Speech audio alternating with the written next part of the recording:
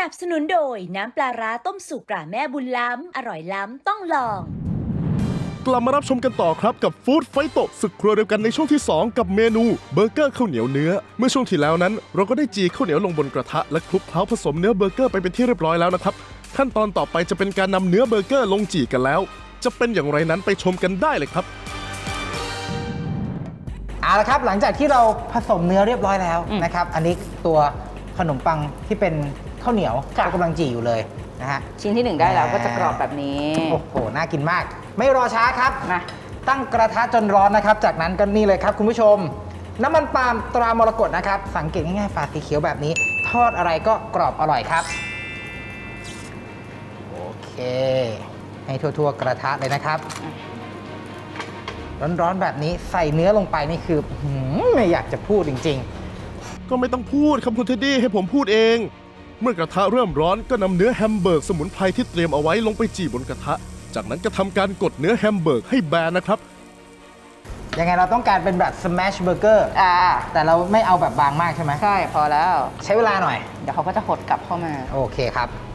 จากนั้นก็รอให้เนื้อแฮมเบอร์กค่อยๆสุกครับ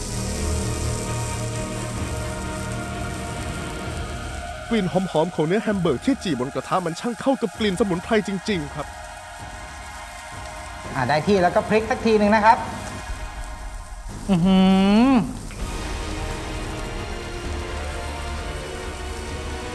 ชั้นยังแบบเป็นแบบนี้ เดี๋ยวเราจะเอาชั้นเนี้ยด้านล่างของเราให้เกรียมเลย ผมมาบอกเลยว่านี่คือเคล็ดลับเลยนะครับ คุณผู้ชมเมื่อกี้เราใส่แป้งประกอบอาหารของโกกิลงไปดูสิครับเขาขึ้นแบบเป็นผิวกรอบๆแบบนี้ ใช่ แล้วก็มันทำให้ตัวเนื้อของคุณเนี่ยนะคะ เกาะกันได้ดีขึ้น ใช่ นี่คือเคล็ดไม่ลับเลยนะครับ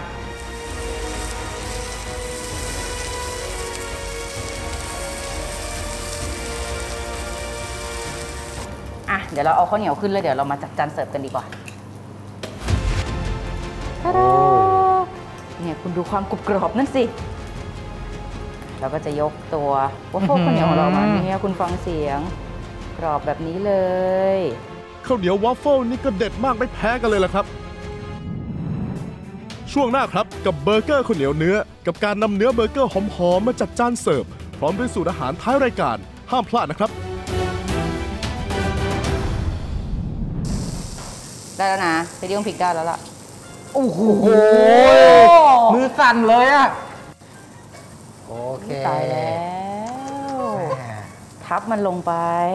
เบอร์เกอร์ข้าวเหนียวเนี่ยเรียบร้อยแล้ว อยากให้คุณผู้ชมลองเอาสูตรไปทำค่ะ เพราะว่าข้าวเหนียวกรอบครวบเลยข้างนอก แล้วข้างในก็นุ่มๆหนึบๆเรียกได้ว่าเป็นการแปรรูปข้าวเหนียวที่มีอยู่ที่บ้าน ซื้อมาเสร็จแล้วกินไม่หมดก็ลองเอามาทำเมนูนี้ดูนะอ่าใช่แล้วล่ะครับเบอร์เกอร์แบบนี้นะครับ เนื้ออร่อยอร่อยข้าวเหนียวกรอบๆแบบนี้ลงตัวจริง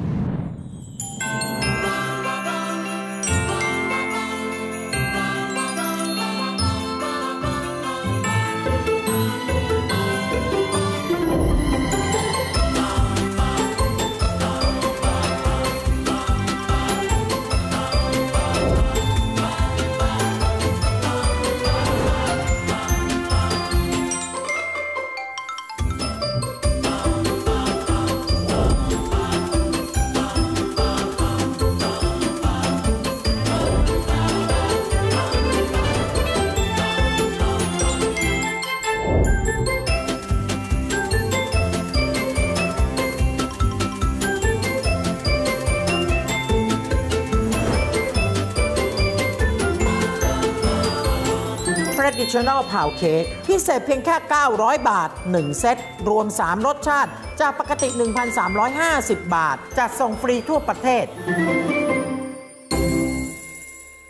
สวัสดีค่ะ นานานะคะ มารีนาจงเลิศเจษดาวงศ์ค่ะ เป็นเจ้าของเจลาโต้แบรนด์ฟรุตตามิน่าค่ะ จุดเริ่มต้นในการทำฟรุตตามิน่าเจลาโต้ของเราเนี่ยเป็นสูตรที่คิดค้นและพัฒนาขึ้นมาแล้วว่า เนื้อจะต้องเนียนละเอียดรสชาติไม่หวานที่สำคัญเนี่ยนะคะ มีกลิ่นหอมของใบกัญชา ทุกอย่างอยู่ในปริมาณที่เหมาะสม แล้วก็ยังอยู่ในเกณฑ์ของคำว่าอร่อยมากอยู่เช่นเคยค่ะเจลาโต้ของเรามีทั้งหมด 6 รสชาติ รสชาติแรกเป็นรสชาติที่ถ้าพูดถึงกัญชา คนจะคิดถึงขนมตัวนี้ก่อนเลยช็อกโกแลตกับกัญชามันเข้ากันได้ดีมาก มีทั้งเนื้อช็อกโกแลตจริง ๆ มีซอสช็อกโกแลตซึ่งช็อกโกแลตตัวนี้อร่อยมากรสต่อไปของเราเนี่ยนะคะ Coffee Rum Raisin กาแฟรสชาติหนักๆหน่อย เจอลูกเกดอมเปรี้ยวอมหวานมันกินต่อได้เรื่อยๆ รสที่ 3 เป็นรส peanut butter กับคาราเมล เป็นเนยถั่วคั่วใหม่ๆ หอมๆ ใส่ layer กับคาราเมลซอส เป็นรสที่ทั้งมันทั้งหอม ตัวที่สี่4 ของอาณาเป็นชาเขียวแท้ๆ แล้วเราคิดว่าแฟนๆ ที่ชอบทานชาเขียวน่าจะชอบทานมัทฉะตัวนี้ของฟรุตามิน่าเช่นกันนะคะ ตัวที่5 piña colada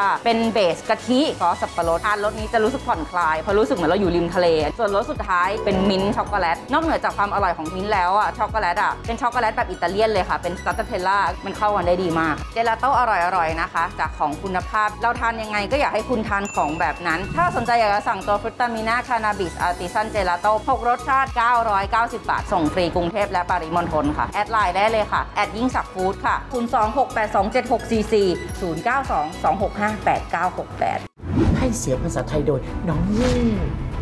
กุนเชียงหมูมินิค็อกเทลตราอาจารย์ยิ่งศักดิ์สูตรเด็ดจากอาจารย์ยิ่งศักดิ์หอมกลิ่นหมูย่างเมืองตรัง ไม่ใส่ดินประสิว ไม่ใส่ผงชูรส เครื่องแน่น หมูเน้นเน้น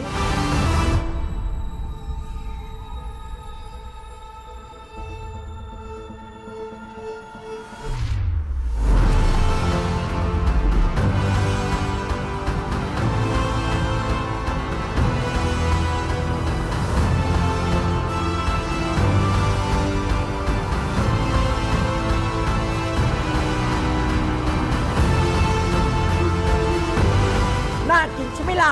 1 แพ็คราคา 175 บาท พิเศษวันนี้ซื้อ 3 แพ็คราคาเพียง 450 บาท จัดส่งฟรี รีบสั่งกันไว้ไว้นะ